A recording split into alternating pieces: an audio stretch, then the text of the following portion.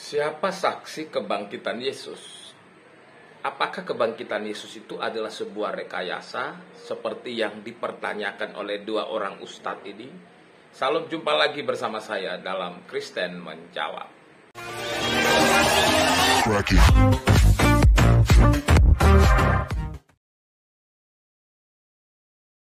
Saudaraku sayang Kristen Katolik hmm, yang aku cintai. Siapa saksinya Yesus keluar dari kubur? Demikian.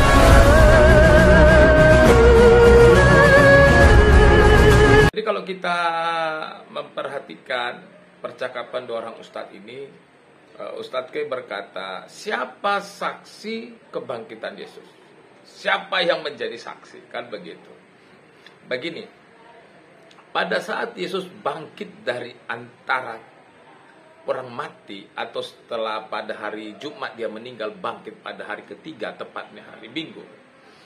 Maka kemudian yang menjadi pertanyaan adalah benarkah bahwa itu adalah Yesus yang disalib itu yang bangkit? Kan begitu.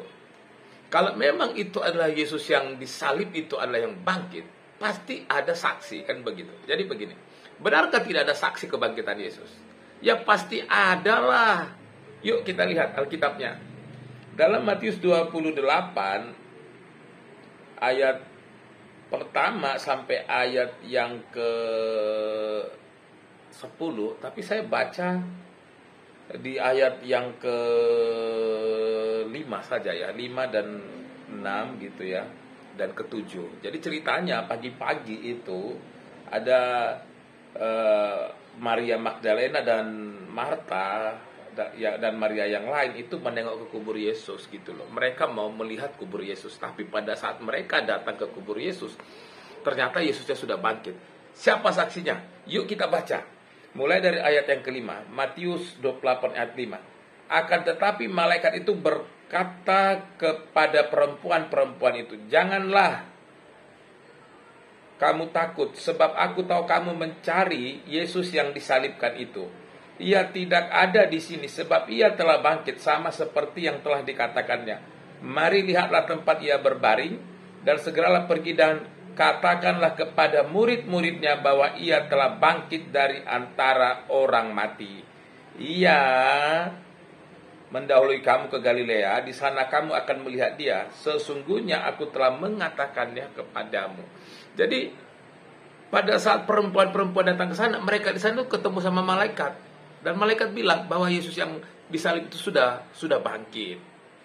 Maka kemudian perempuan-perempuan ini disuruh memberitakan itu kepada murid-murid dan kepada saudara-saudara orang yang percaya kepadanya. Bukankah itu cukup? Kalau belum cukup, ada lagi buktinya. Kita buka kembali di dalam oh, Yohanes. Uh, kita buka dalam Yohanes 20 di mana pada saat Tuhan Yesus itu sudah bangkit dari antara orang mati, nggak semua juga murid-muridnya awalnya percaya. Salah satunya yang nggak yang nggak percaya itu adalah Thomas. Makanya Thomas bilang kalau saya nggak mencucukkan langsung jari saya ke bekas paku pemakuannya itu, saya nggak akan percaya.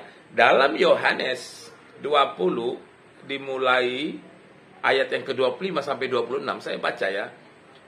Maka kata murid-murid yang lain kepadanya, kami telah melihat Tuhan. Tetapi Thomas berkata kepada mereka, sebelum aku melihat bekas paku pada tangannya dan sebelum aku mencucukkan jariku ke dalam bekas paku itu dan mencucukkan tanganku ke dalam lambungnya, sekali-kali aku tidak akan percaya.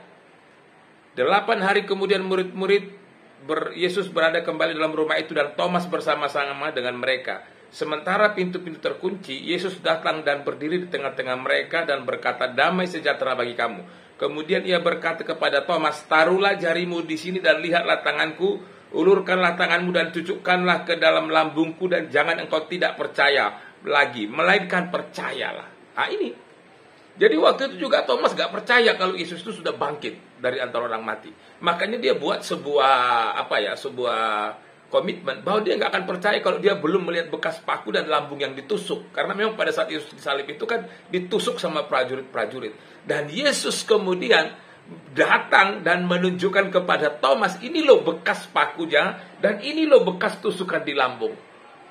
Apakah itu kurang cukup membuktikan bahwa Yesus memang betul-betul bangkit dari kematian.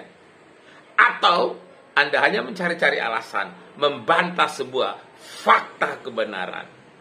Apa pun pertanyaan atau apa pun tindakan orang yang meragukan kematian dan kebangkitan Yesus. Itu real, itu fakta dan kitab suci mencatatnya. Salam Tuhan Yesus memberkati.